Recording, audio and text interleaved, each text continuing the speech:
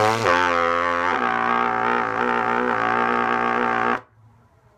and welcome to Horn Trader on YouTube. Today, my special guest, harkening back from the year 1981 or so, this Benge Claude Gordon 6XCG. Serial number is 37,000.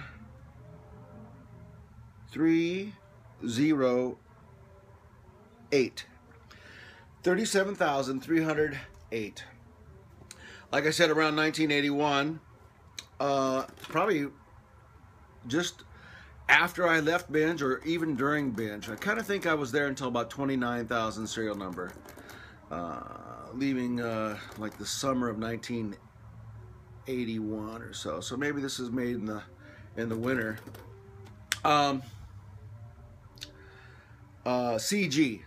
Uh, it's a large bore. It's 468 bore going all the way through the valve section until it comes out of the uh, bell tail stub. And that is choked down to 464 and so that gives guys uh, a little bit of resistance to push against. Resistance is your friend. Uh, a thinner bell.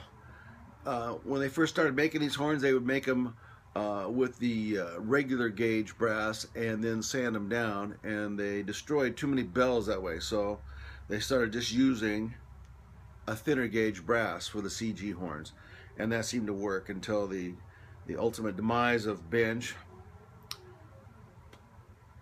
You can see it's stamped Los Angeles, but it was made in Anaheim.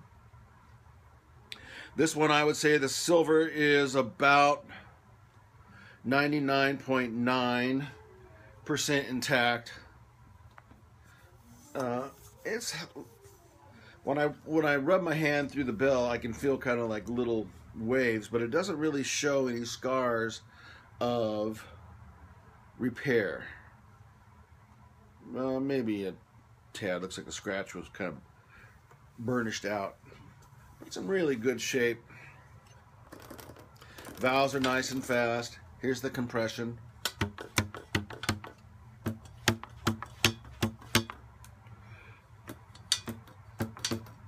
all slides pop.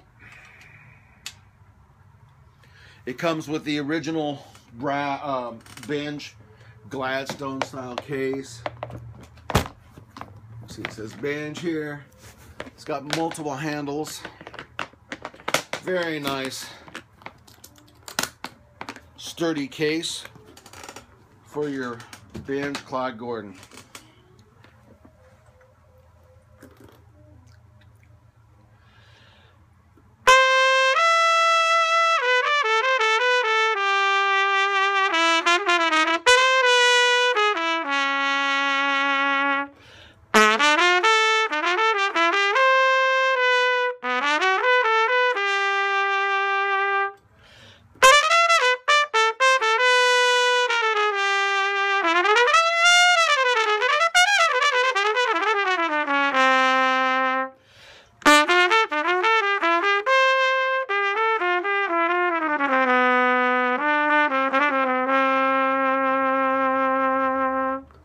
You can see it's got a nice sound in the upper register and in the lower register.